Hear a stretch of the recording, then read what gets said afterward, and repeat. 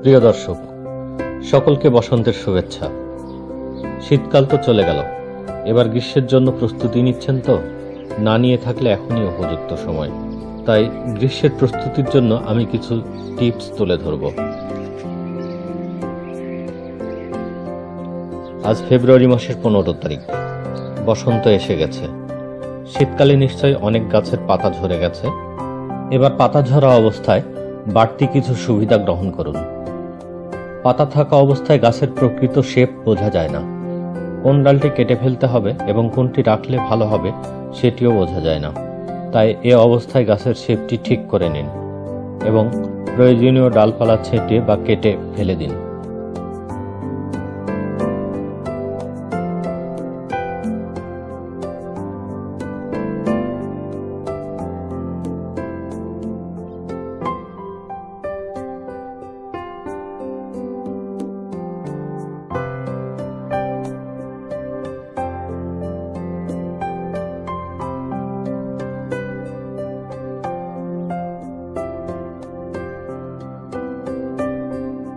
এ সময় পাতা না থাকায় ওয়ারিং করারও বেশ সুবিধা। তাই ওয়ারিংয়ের কাজ যদি থেকে থাকে, তাহলে সেটিও সেরে ফেলুন।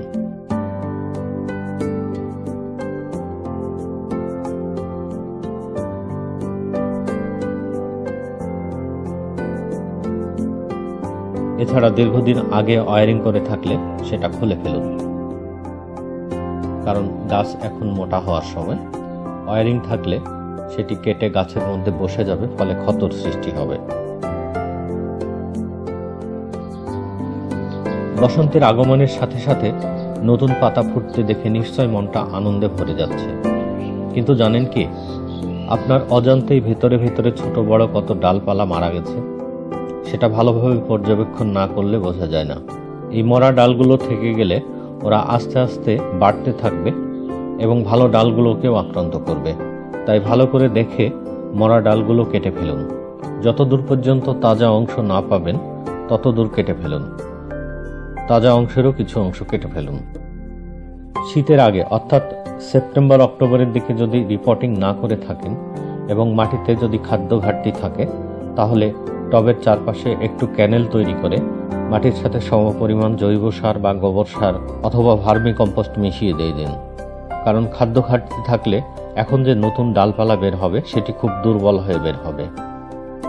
এপ্রিল মেতে আবার পূর্ণাঙ্গ রিপোর্টিং করে দিবেন।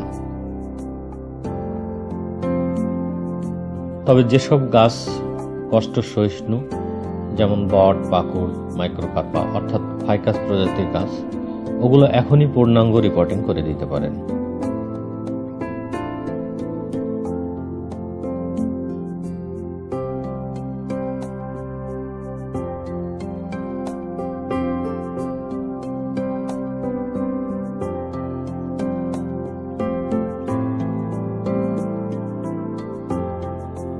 এ সময় গাছে কিছু ফাঙ্গাস রোগ দেখা দিতে পারে। অর্থাৎ গাছের পাতা ও ডালে সাদা সাদা তুলোর মতো কিছু দেখা যায়, অথবা ডালপালায় কালো আবরণ পড়ে। সেক্ষেত্রে পানির সাথে কীটনাশক এবং অ্যান্টিফাঙ্গাল মিশিয়ে স্প্রে করে দিতে হবে। রোগ না থাকলেও দিতে পারেন। লক্ষ্য করুন, দুই তিন দিন পানি না দিলেও মাটি স্যাঁতসেতে হয়ে থাকছে কিনা। সবসময় মাটি স্যাঁতসেতে হয়ে থাকলে ফাইবার রুটগুলো পচে মরে যায় ফলে গাছ মাটি থেকে পুষ্টি গ্রহণ করতে পারে না। যদি স্যাঁতসেতে থেকে থাকে, তাহলে গাছটি টব থেকে এভাবে তুলে এক দুই দিন বাইরে রেখে দিন, তারপর আবার বসিয়ে দিন। প্রয়োজনে হালকা করে চারদিকের মাটি ঝরিয়ে এক মুঠো হাড়ের গুঁড়ো, মোটা বালি এবং তার সাথে অন্যান্য খাদ্য মিশিয়ে টবে দিয়ে দিন। প্রয়োজনে টবের ছিদ্র বড় করে দেবেন। গাছ সাধারণত শীতের পর থেকে খাদ্য গ্রহণ করতে শুরু করে। এ সময় থেকেই গাছের ডালপালা ও কাণ্ড মোটা হতে থাকে। কিন্তু খাদ্য ঘাটতি থাকলে তা হয় না। আপনি যদি গাছকে আরও মোটা করতে চান, তাহলে এখনই প্রচুর খাদ্য দিয়ে দিন।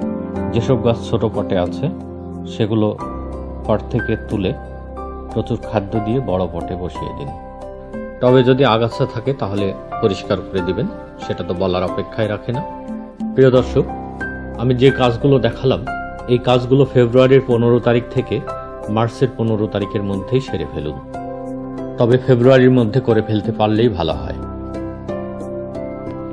এই ছিল আমার টিপস।